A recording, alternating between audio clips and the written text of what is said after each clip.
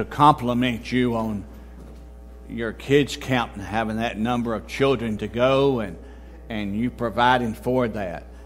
Uh, you'll never know maybe how many of those may be the next pastor or next Lottie Moon that, that God may call out in his service. So uh, just I am so thankful that and grateful for a church that cares for their children enough to see that they get to attend a, a, a camp like they went to. It's uh, very good. Also, uh, now next week I'll not be here. Be here, Lord's willing, the week after that. So uh, pray for me if you would. Now, I also just want to thank you. Uh, I count it a joy and a privilege to be here. Uh, I am enjoying uh, just preaching to you. You're a good congregation. You're easy to preach to. I don't know if you know that or not, but you are.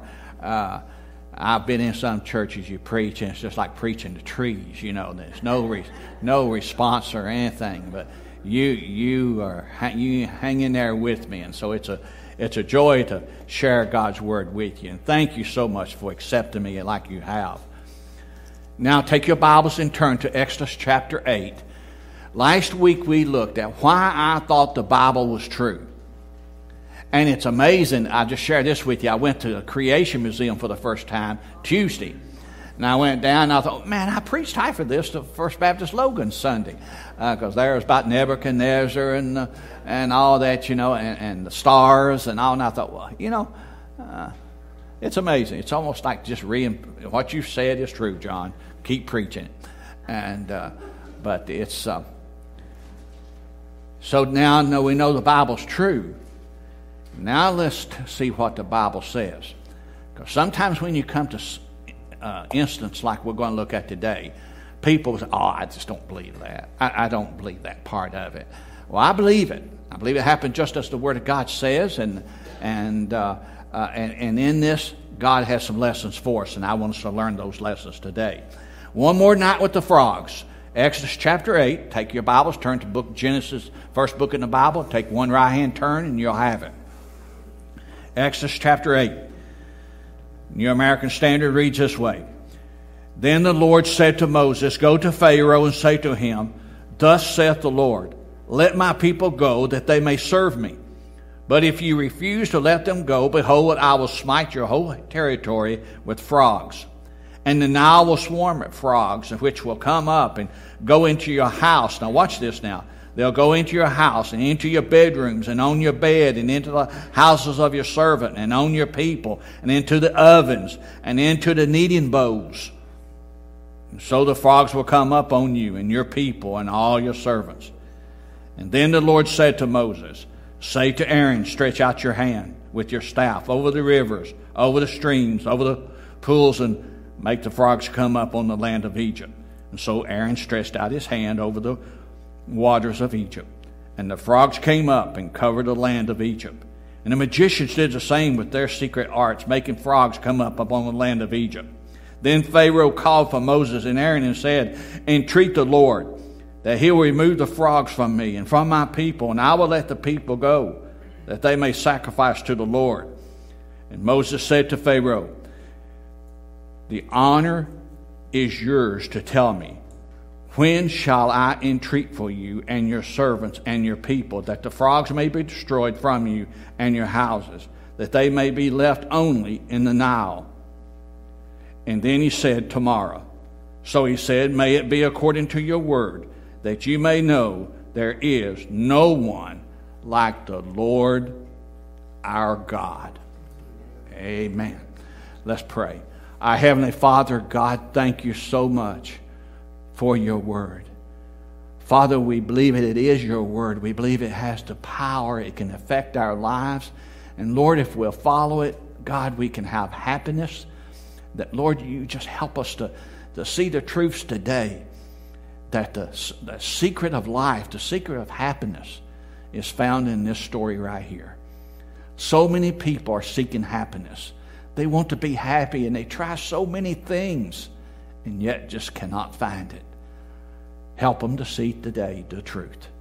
And I pray this in the very precious name of Jesus Christ, our Lord and our Savior. Amen. Well, you know the story. The children of Israel were slaves of Egypt. And God raised up a mighty deliverer by the name of Moses. And you recall Moses was raised by Pharaoh's daughter.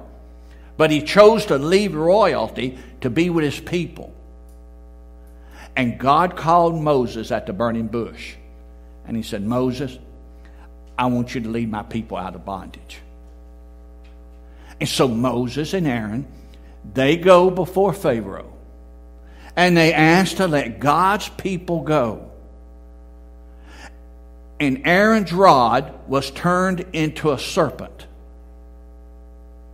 Pharaoh's magicians, empowered by Satan, did the same thing. But Aaron's rod or serpent swallowed up the others. Now we can learn something right there if we'll just pause a moment. That is this Satan is very powerful, but God is more powerful. Because Aaron's rod swallowed up the others.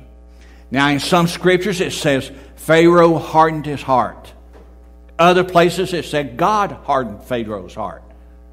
They go, well, that's a contradiction. See, you've taught like Sunday. There is no contradiction. That's no contradiction. God hardened Pharaoh's heart because of Pharaoh's initial hardening. Now, because of this, God showed his mighty power because of their disobedience, and he sent the plagues. You remember the ten plagues water to blood, the frogs, the lice, the flies, the plague on the animals, boils, hail and fire, locusts, darkness, and death of the firstborn. All of these was an indictment, a judgment against an Egyptian god. For example, the Egyptians worshiped the Nile River. And anything that came out of the Nile River, they considered to be a god.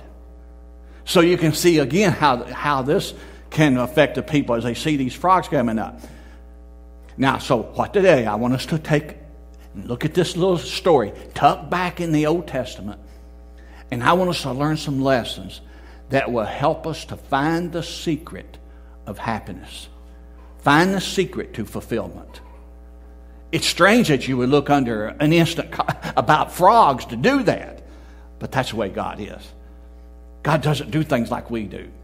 His ways are not our ways. And so now keep in mind that by refusing to let the people of Israel go, Pharaoh was disobeying a direct command of God. And so God sent the frogs. And we read, uh, we just read where they came up out of the Nile River and the ponds and the streams, and they came up by the millions and they were in the slave quarters, they were in the houses, in the kitchen, in the bedroom, they were everywhere. Now, I want you to use your sanctified imagination with me this morning. And I want you just imagine. You go in your house, you got to brush the frogs off the, ta- uh, off the ch- chair, sit down, and then your mother's in the kitchen. She's going to fix homemade bread wow, it's going to be a special supper tonight. Homemade bread. All the kids are so excited. And so she's in and said they're in the kneading bowls. So here she is. She's kneading that, that dough, and something falls over. She turns around. A frog had knocked something over. She didn't notice it, but a frog jumped into the dough. And so she's still mixing it. Now you go into the go into the kitchen. He says, "Come, family." It's supper time. Supper's ready. Oh, good. Homemade bread tonight. Oh, boy. And they all have to brush the frogs off the chair, off their plates. Then they sit down. And Father takes this knife. But first, he thanks Jehovah God for what they're about to receive. And then he takes that knife and he cuts into that bread. And there's that old frog. Comes bedtime, you have to go upstairs and you have to brush the, the frogs off the bed. And you lay down, they cover you, and you have to keep knock them off your face.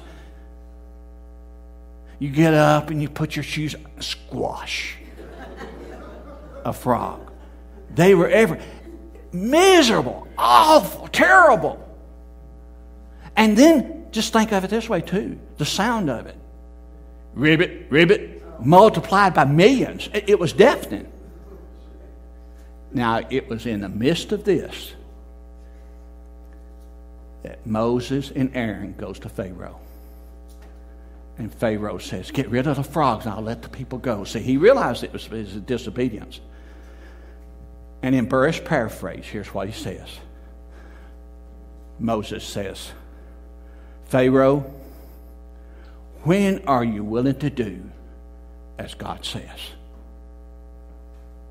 Now think with me. Wouldn't you think if you was going through all of the little slimy frogs there, the Noahs, you would have said, now, just get rid of them. I can't stand it anymore. Tell him get rid of them. But look in verse 10. You'll see Pharaoh's answer. Tomorrow. Do you hear what Pharaoh's saying? I want to spend one more night with the frogs. I want to spend one more night under God's chastisement. I want to spend one more night suffering God's punishment. I want to spend one more night with the frogs. I know what some of you thinking. Pharaoh wasn't very smart, was he? I wonder, are we any smarter? You see, God hasn't changed. Are you listening to me, folks? God hasn't changed. God's an unchanging God. God still demands instant obedience. Not to make us miserable. Here's the key.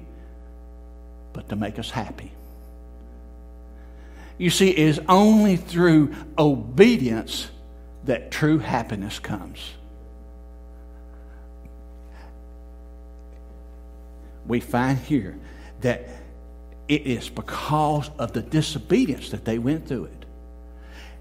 Hardly a day goes by, I don't hear someone say, I know I need to do such and such, and I'm going to tomorrow, or I'm going to next week. What are you saying? I want to spend another night with the frogs. I want to spend some more time under the chastisement of God. You're saying the same thing as Pharaoh's saying. Because listen, God still disciplines when we don't obey. So let's look at some lessons. Number one, the promise of frogs or the promise of chastisement for disobedience. Remember now, the plague of frogs was for Pharaoh's disobedience. Now, God hasn't promised that He'll send frogs on us, but He has given us some promises. He says to me and to you, if you continue to disobey me, if you continue to fail to submit to me, I've got some promises for you. Let me give you some of them to you. Listen to them. Proverbs 13, 15. But the way of the transgressor is hard are you in a place where in your life that you're saying something like this? Boy, life is just so hard. Life, boy, this life is hard. Oh, really?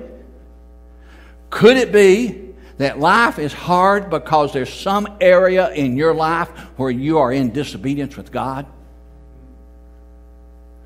Because listen to it again the way of the transgressor is hard. Listen to uh, Proverbs 28 13. He that covereth his sin shall not prosper. Are you here today and you think, regardless of what I do, we cannot get ahead? We try and we, I'm working overtime, I'm doing this, I'm doing that. We just can't prosper. We cannot get ahead. Could it be that there's some area in your life that you're in disobedience with God? Because God says, what? The transgressor, uh, he that, or he that covereth his sin, shall not prosper. You see, you're covering that sin, you're thinking, I got this little pet sin no, nobody knows about. And, uh, and I'll just have a little fun with it. Nobody ever know about it. Well, God knows about it, and He says, You're covering that sin. And I will not let you prosper. The other week we said, Be not deceived. God is not mocked. For whatsoever a man soweth, that shall he also reap. Remember the law of the harvest? Are you sowing disobedience? And therefore you're suffering the chastisement of God? For whom the Lord loveth, he chastens and scourges every son whom he receiveth. Revelation 3.19, as many as I love, I rebuke and I chasten. You go, wait a minute, I thought God was a God of love. He is. The Bible says, whom God loveth, he chastens, he whips. It is because of his love. Look up here a minute. You were made to have fellowship with God. That's one of the reasons you are, are here today, is to have fellowship with God. God loves you and He wants to walk and talk with you, just as He did with Adam and Eve before sin. He wants to walk and talk and have fellowship with you. But He cannot when you have sin in your life. God is a holy, righteous God. And if He starts looking over your sin or condoning your sin, He will cease to be holy. He cannot do it. Even with his love for you, he cannot do it. So what does he do because of his love? He whips you. He chastises you. He sends that frog. He sends that punishment. Friends, listen, God hasn't changed since the days of Moses and Aaron. When you rebel against God, when you leave Him out of your plans, you leave Him out of your decisions, and you go on and live your life the way you want to live it, God says, I will, I will send the frost, or I will send my, my chastisement upon you.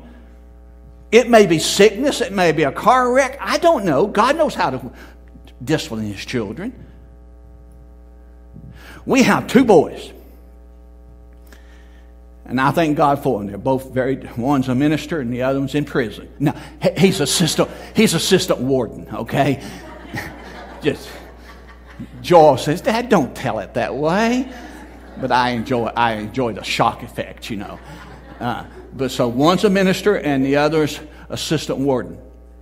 Very proud of him, serving the Lord. But how two boys with the same parents, raised in the same home, can be so different, I do not understand. Jeff is academic straight A's, tops out.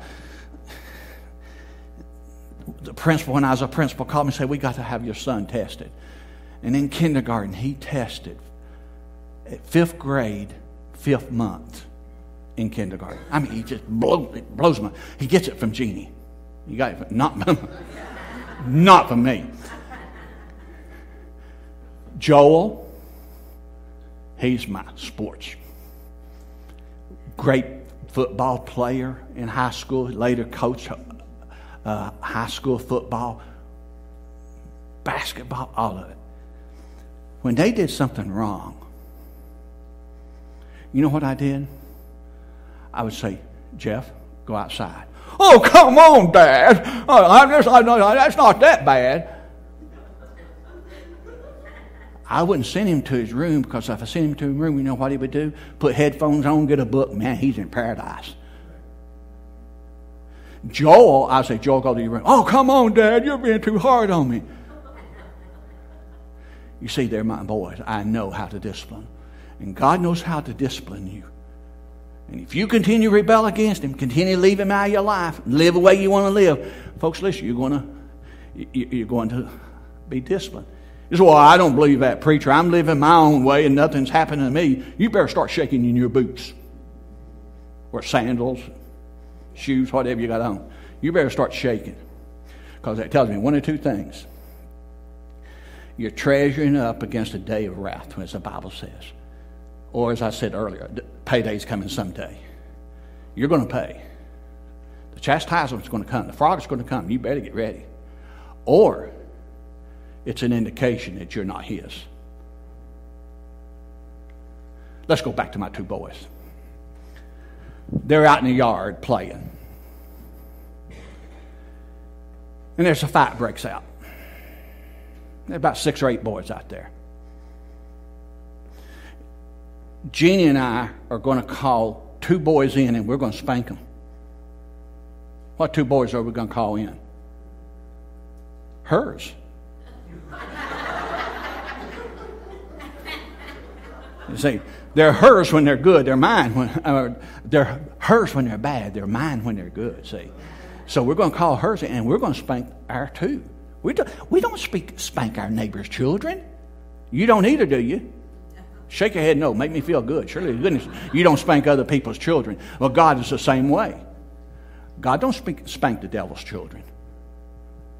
And so you look over at your neighbor and say, he's a lost person. And look, look how uh, nothing ever happens bad. I mean, God doesn't discipline Satan's children, He disciplines His own. And listen to the scripture again. But after thy hardness and impotent heart, you treasure up unto thyself wrath against a day of wrath. In other words, you might think you're getting by with it, but you're not. It, it's, it's coming. My discipline is coming. I am going to whip you if you're mine. Well, let's hurry. Let's look at the second thing the peril of one more night with the frogs. God has shown something you ought to do. You ought to be working with the youth. You ought to be in children's church. You should be in uh, a beginner's church. Uh, you should be working with uh, uh, the women's Bible study. He has shown you what you ought to be doing. Or maybe there's some sin in your life that He's saying, give it up. Stop that. I don't want you doing that anymore. That breaks my heart. That's a sin against me. Stop it. Maybe nobody knows about it, but I know about it, and you're breaking my heart. Now stop it. And you know, I will. Maybe next week. I, am going to. I'm going to stop it. Or I'm going to start helping. Uh, just not right. You're saying, I want to spend one more night with the frogs. I want to spend one more night under the chastisement of God, disobeying God. Well, what happens? Number one, it's the peril of a wasted life. You see, God means for us to live every day in victory. When Jesus died on that cross, He said, I have come that you may have life and have it more abundantly. That's the life He died for. He wants you to live in victory, not defeat. And so every day that you don't live for Him and is a day lost for time and eternity, you will never have this day back again. When this day's gone, it's gone. And what you did for eternity is the only thing that's going to last. That's the only thing that counts in all time eternity. So what happens? Life is like a vapor. It's here and it's gone. And so what happens then? You'll continue to say, God, I'm going to start helping in children's church maybe next week or next month. Or I'm going to stop that sin. I, I, am not going to continue that sin, but just not today. You're spending more night with the frogs. You see, days turn into weeks, weeks, months, months, years, years, decades, and then your life's gone. Please listen to me. I, I know what I'm talking about. Let me give you an illustration. The man by the name of Ernie, I won't say where, where I was pastor at that time. His name was Ernie. He was Little League baseball coach, Pee Wee football coach, member of the Kiwanis. Outstanding man in the community. Outstanding man. His wife and children were members of our church. His wife came to me and said, Pastor, please go witness to Ernie. I said, okay. I went and I said, Ernie, and I shared Christ with him. I said, Ernie, would you like to just pray, receive Christ? No.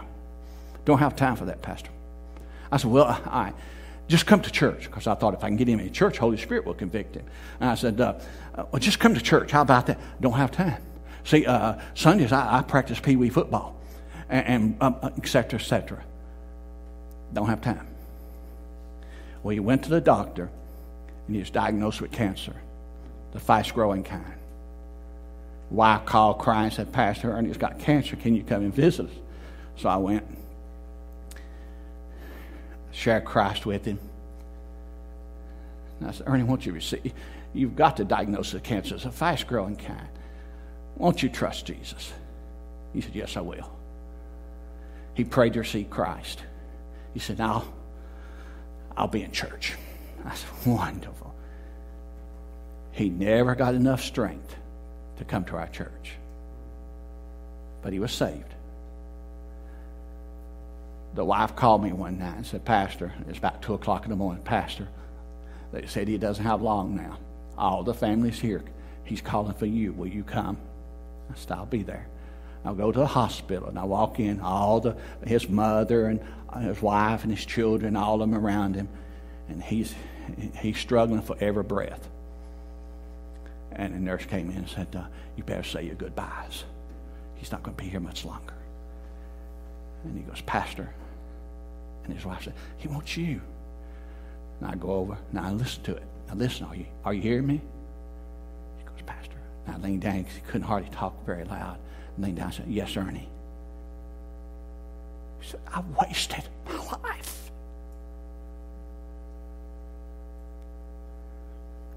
You know what I could have said? Ernie, you didn't waste your life. Why, you coached Little League football and basketball and, and baseball, and you're a, a Lions uh, or a Kiwanis member. And why, Ernie, you didn't waste your life. I couldn't say that. You know why? He had wasted his life. Because only what you do for eternity will last. And the only thing I could tell him is took his hand, squeezed hard, and I said, Ernie, God loves you so much. And it was only a matter of a couple more minutes.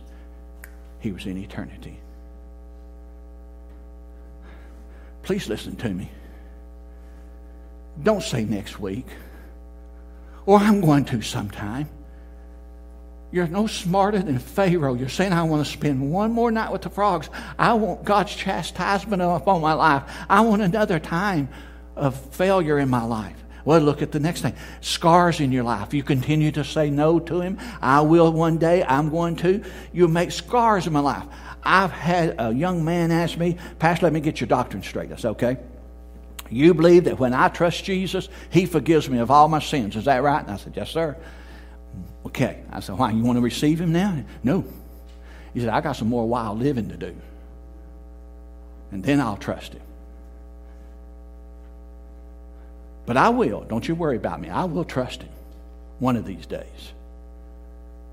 But I just got a lot of living I want to do first. You know what he's saying? I want to spend some more night with the frogs, and I want to spend some more nights adding scars to my life. Look up here a minute. You don't hear this very often from pulpits.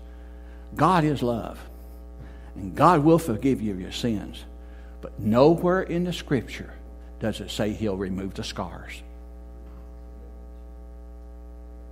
Nowhere. So, yes, you can wait. You can turn your life over to Jesus, and he'll forgive you. But he doesn't say, I'll wipe away all the scars. It can lead to a scarred life. Third thing, danger of becoming a castaway says uh, 1 uh, corinthians 9 27 says but i keep under my body and bring it under subjection lest that by any means when i have preached to others i myself should become a castaway.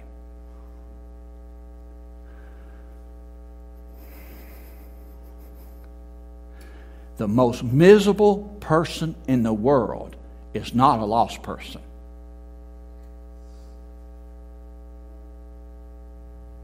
Right? I didn't get very many amens on that. Let's try that one more time. The most miserable person in the world is not a lost person. I right. Listen, there's a lot of lost people out there having a good time. They think. I submit to you the most miserable person is a Christian out of fellowship with God. That's the most miserable person. They know they should be doing something. They know what God has told them to do. They know it, and yet they continue to rebel, continue to fail to submit, and they are miserable. And then he says, become a castaway. You know, that's to a Christian.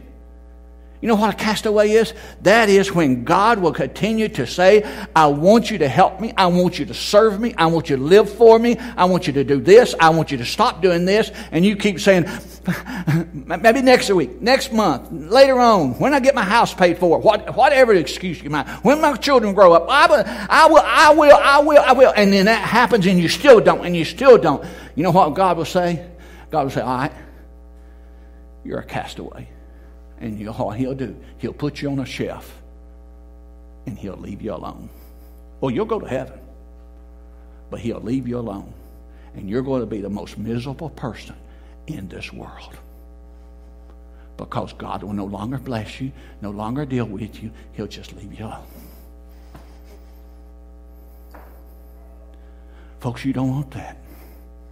And if you continue to fail to submit and obey Him, that's one of the dangers or one of the perils of one more night with the frogs. You're going to say, later, later, later, until you'll become a castaway. Well, the perils of lost rewards.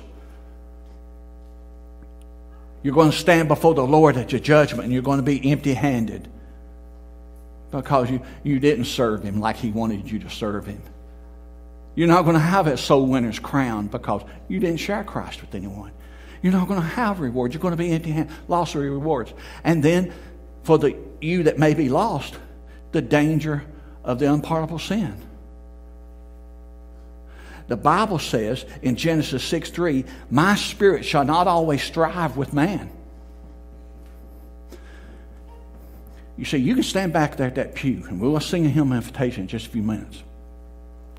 And you can grip that pew and say, I just can't go to this. I just, maybe next Sunday.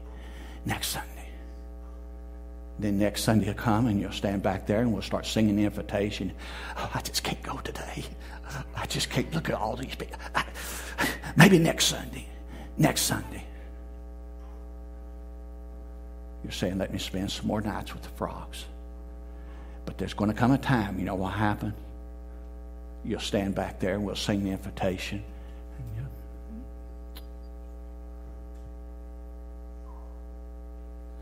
Won't affect you at all. You've crossed that line where God's Spirit will not deal, deal with you anymore. I was holding a revival in Columbus. The pastor says, Brother John, I want you to witness this lady. This young lady says she's She's such a good lady. I said, I've witnessed to her. She won't trust Christ. So she's got so many talents, got a beautiful voice. She's a beautiful lady. So we went there and she was. She's beautiful. She could have been a model. And she was going to Ohio State. I said, uh, could I share with you some scriptures that changed my life? It sounds familiar, doesn't it? Did it with Fred, remember, in over in Logan or over in uh, Waverly. She goes, okay. Just, okay. And I sat down and I went through scriptures, and folks, listen to me. God has given me the gift of discernment, I can, I can discern. I, am I'm getting to this, person, not me, but the Holy Spirit is getting to this person. I shared nothing. I mean, nothing. And I thought, I'm wasting my time. She, she, Spirit's not here. So it came to an end. I said, Rachel, I thought, well, maybe you're reading it wrong. Give her a chance. I said, Rachel, would you like to pray and receive Christ in your heart? No. I said, Rachel, you realize when you say no, you're not saying no to me. You're saying no to Jesus. You do know that, don't you? Oh, yeah. Rachel, don't you want your sins forgiven? Don't you want Christ to come in? Mm, no. I thought, okay, there's something in her life keeping her from it. So I asked a follow up question. This is what I usually do. I shouldn't be telling you my secret, should I? And I, I said, Well, Rachel, is there any reason why you wouldn't receive Christ? And so I thought, now she's going to come tell me she's on drugs or she drinks or she's got a boyfriend that's been, you know, whatever. And so I just, I was ready for the confession. She Said, no, I said, Why don't you? She said, Pastor John said, I went to revival with my friend. And there's that preacher up there, and he preached and said, I stood back there and I held back of that pew. I wanted to go forward so bad, but I wasn't going to do it. And my friend saw that I was under conviction. And so she invited me back again. And I went back to please her. And that preacher preached such a good message and came invitation, invitation time. They started singing. She said, I held the back of that pew and I thought, I want to go forward. And she, I was so under so conviction, I couldn't take it anymore. And I stepped out, and then instead of stepping forward, I turned around and went out the back door. And she said, I went out on that porch and I hollered, God, leave me alone. And she said, I have never felt anything since.